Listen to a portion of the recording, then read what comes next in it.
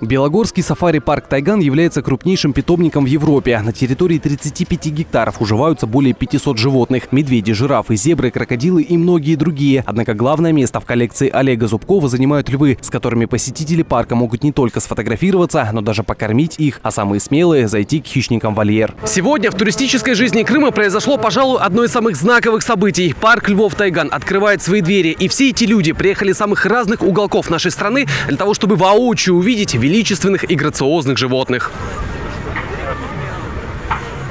Более 75 львов из вольера вышли на территорию сафари-парка. Хищники моментально осваивают новое пространство. Самые крупные и смелые особи начинают драться за роль вожака. Рычание, пыль и новые шрамы – это не просто зоопарк. Здесь все по-настоящему.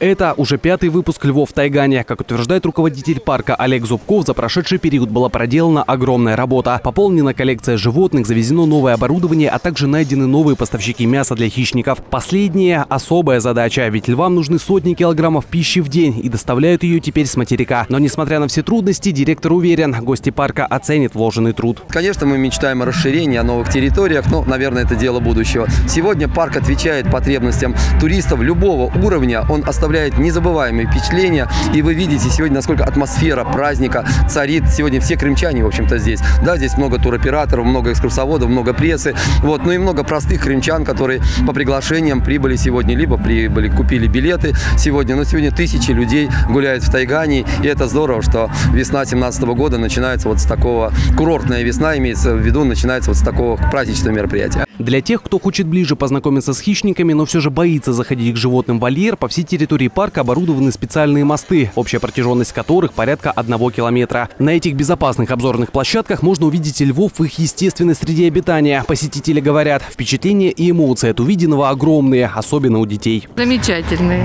Мы уже, я уже третий раз Да, я в первый. полном восторге и буду приезжать еще, еще и еще. Впечатления незабываемые. Впечатления, конечно, сильные. Мы первый раз в парке. Ну, очень нравится.